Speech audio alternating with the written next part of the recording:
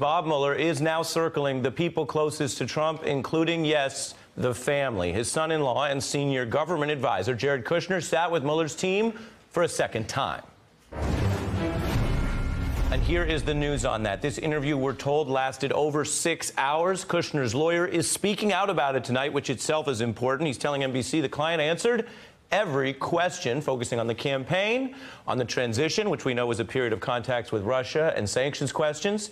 We also know that there were questions about the activities post inauguration, including something at the beating heart of the obstruction query how and why was James Comey fired. Kushner, a key figure. He's a lawyer in his own right. He's someone that was with Trump, of course, from the start. And he's been involved in many defining moments. You can't forget, obviously, the secret Trump Tower meeting with Russians, which is under investigation. Kushner attended along with other family members like Trump Jr. and Paul Manafort, who has been famously noted should have known better. Kushner also worked on that alleged secret back channel to the Kremlin, a question that Mueller wants to ask Trump about directly. That we know from the New York Times leaks earlier about the continued wrangling over that potential interview. And then last summer, consider that after speaking to congressional investigators, Kushner did something that you almost never see him do. This remains one of his iconic and only statements about all this. He came out and addressed those cameras in front of the White House. Let me be very clear. I did not collude with Russia, nor do I know of anyone else in the campaign who did so. I had no improper contacts. I have not relied on Russian funds for my businesses. And I have been fully transparent in providing all requested information. He took no questions in that setting. You can imagine that Bob Mueller's investigators may have asked, what did he mean by the word relied?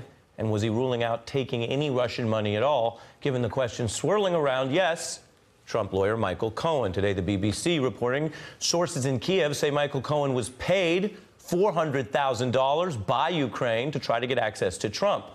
Now, let's be clear those are new and separate legal problems for Cohen. If you followed this story at all, you have heard us talk about the foreign lobbyists. There are rules already in place that they have to register with the feds. If you don't, you are violating the Foreign Agents Registration Act, and that alone can get you charged and convicted. Now, Trump met with the Ukrainian president last June. That was after Cohen received the secret payment. And shortly after that meeting, Ukraine announced they were dropping a alleged investigation that was going to go on into Trump's former campaign chair, the now indicted Paul Manafort. He was in court today. You can see we're following a lot of threads, making requests that lawyers do make to try to keep some evidence from that early morning raid of his home out of the ongoing proceedings that Robert Mueller has against him. So, a lot going on. Mueller making moves against Trump's inner circle. And now we're seeing some new developments out of Trump land. Rudy Giuliani, get this, says that maybe getting foreign help, which is ipso facto illegal, wouldn't be illegal if it were kind of a friendly gift. Look at this in the Huffington Post. Rudy says it isn't illegal, it's sort of like a gift, and you're not involved in the illegality of getting it.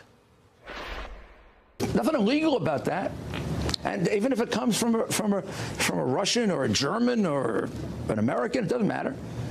And they never used it, is the main thing. They never used it. They rejected it. If there was collusion with the Russians, they would have used it. We have quite the panel to dig in. Former DNC Chair Donna Brazile, who has also been in the mix of some of the results of the hacking, a former federal prosecutor, John Flannery. He was a special counsel in three separate congressional probes, hence the bow tie. That's a sign of gravitas. Tim O'Brien, the author of Trump Nation, executive editor of Bloomberg View, and he has the distinction of having been sued by Donald Trump over his reporting on Donald Trump's net worth. And a friend of mine who has been on the show before, Steven Brill, is a celebrated attorney. He is the founder of Court TV and the legal journal The American Lawyer, and he has a new book out, Tailspin, because Steven Brill never stops working. Uh, we will get to you in a second. I begin with John Flannery on Giuliani's defense. Why does it sound so stupid? Is it as stupid as it sounds?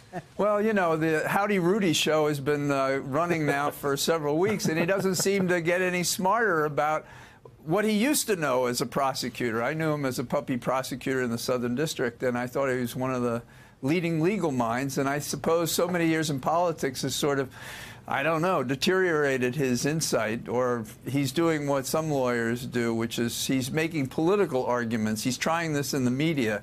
Mueller's not doing that, and when Mueller drops his bomb, none of this stuff is going to matter. So, on, on a scale of 10 being a slam dunk legal argument and zero being worthless, your assessment of this new gift defense? Is minus imaginary numbers.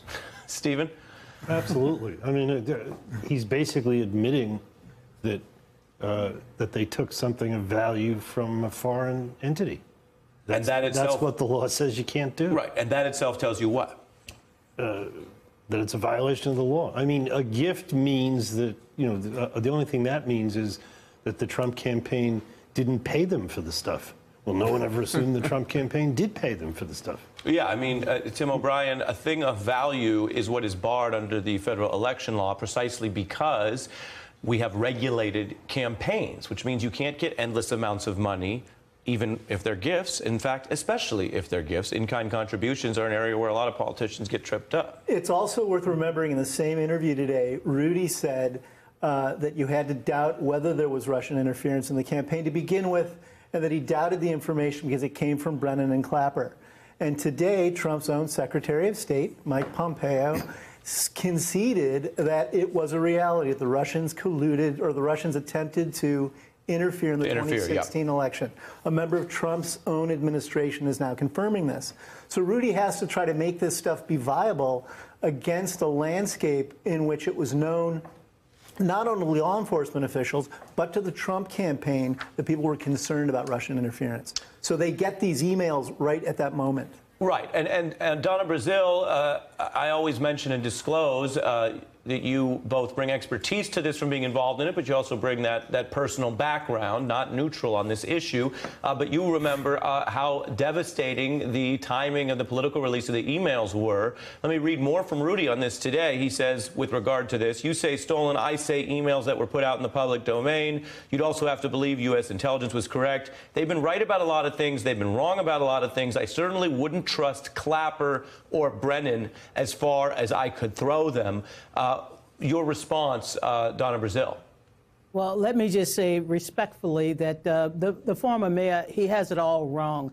It, it wasn't a gift in, in, in the sense that uh, someone provided. The Trump campaign wanted this information. They wanted to use it in such a way uh, that would sow division within our, the Democratic Party, but also distract from the daily, what I call uh, insane campaign that he was running. We all know that these, uh, not only the release of the emails, the stolen, hacked emails, had an impact uh, on our party, but the way in which the Trump campaign used those emails in the fall campaign, almost as if it was talking points.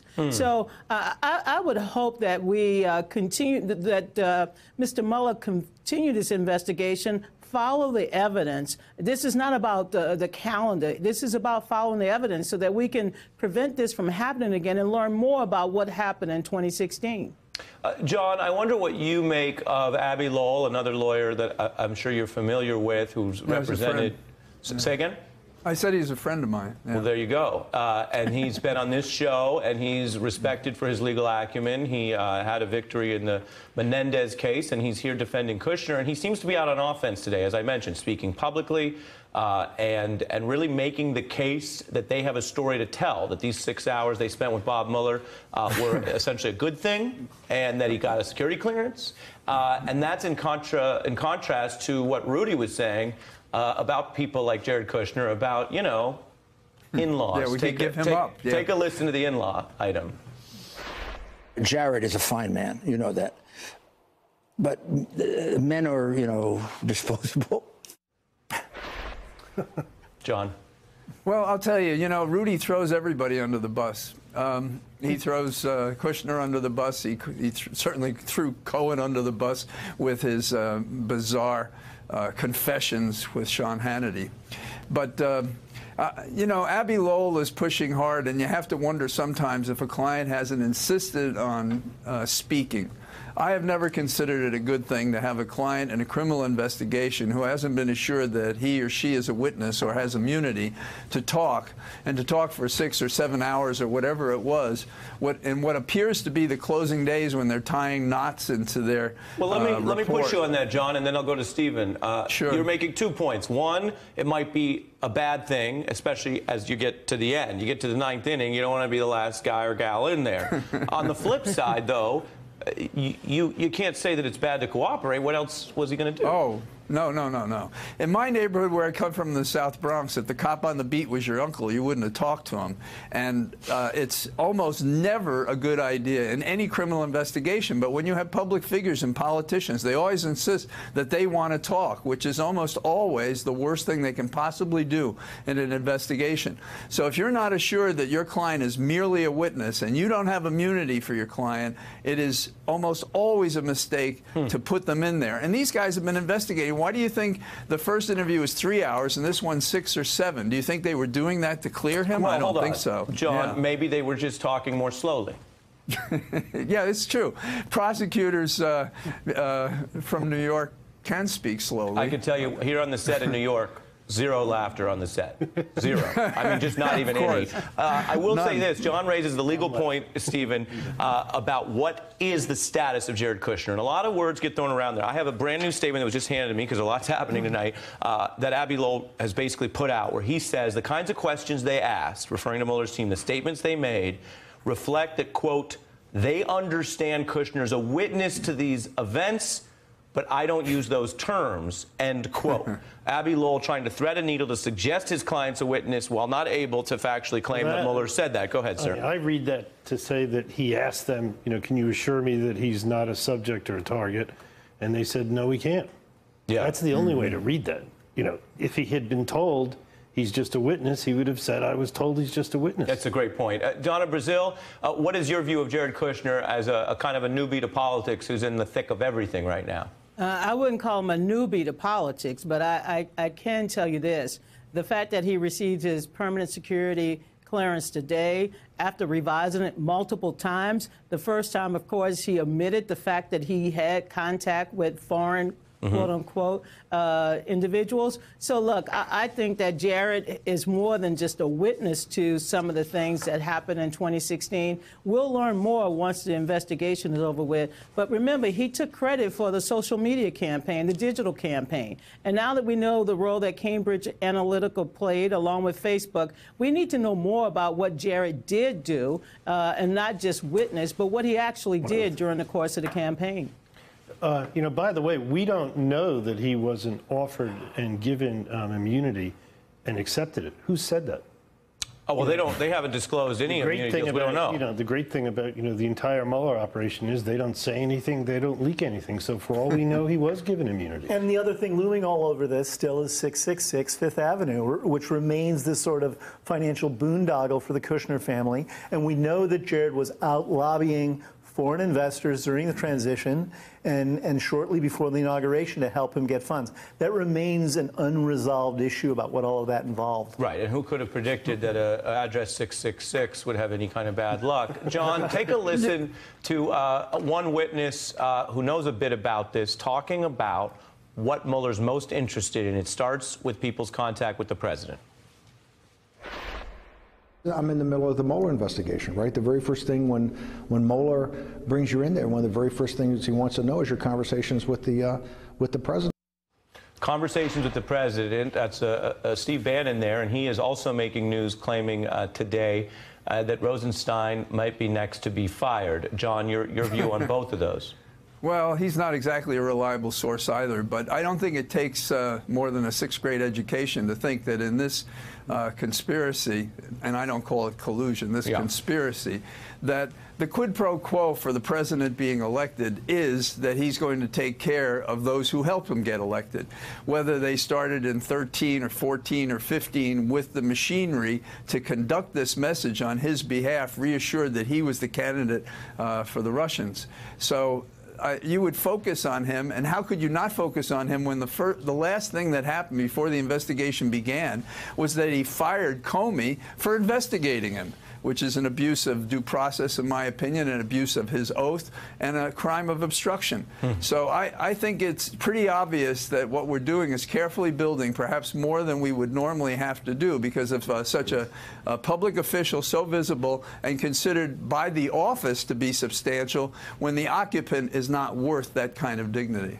You don't think Donald Trump is worth the dignity of the Oval Office? Absolutely not. Hey, I'm Ari Melber from MSNBC. You can see more of our videos right here, or better yet, subscribe to our YouTube channel below. You could have been anywhere in the world, but you're here with us, and we appreciate that.